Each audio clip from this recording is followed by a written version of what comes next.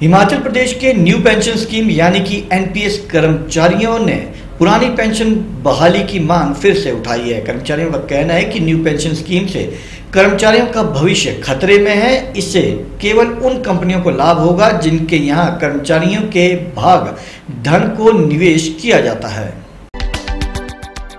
हिमाचल प्रदेश के new pension scheme, यानी NPS कर्मचारियों ने पुरानी पेंशन बहाली की मांग फिर से उठाई है। कर्मचारियों का कहना है कि न्यू पेंशन स्कीम से कर्मचारियों का भविष्य खतरे में है। इससे केवल उन कंपनियों को लाभ मिलेगा जिनके यहाँ कर्मचारियों के भाग, धन का निवेश किया जा रहा है। रामपुर में पत्रकार वार्ता के दौरान एनपीएस कर्मचारी महासंघ के प्रदेश मुख्य प्रवक्ता कुशल शर्मा ने कहा कि वर्ष 2003 के बाद नियमित होने वाले सरकारी कर्मचारियों को पुरानी पेंशन स्कीम से बाहर कर दिया गया है। उन्होंने कहा जबकि मुख्यमंत्री ने एनपीएस कर्मचारियों के प्रतिनिधि मंडल को पूर्व में आश्वासन किया था कि इस विषय पर गंभीरता से गौर किया जाएगा। लेकिन इस विधानसभा सत्र में मुख्यमंत्री द्वारा दिए गए व्यक्तित्व से एनपीएस कर्मचारी हताश हैं। कुशाल शर्मा ने कहा कि एनपीएस कर्मचारियों ने ये भी मांग रखी थी कि केंद्र सरकार के कर्मचारियों की तर्ज पर मृत्यु व दिव्यांगता की स्थिति में दिए जाने वाले लाभ प्रदेश सरकार दे, लेकिन हिमाचल में ये लाभ नहीं दिए जा रहे हैं। कुशाल शर्मा ने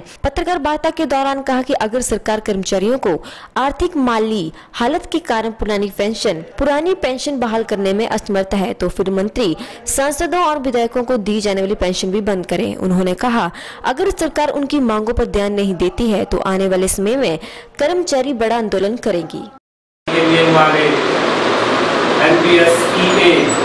राज्य मुख्य प्रवक्ता श्री विशाल शर्मा जी से आग्रह कि वो आगे की कार्रवाई संचालित करें, आइए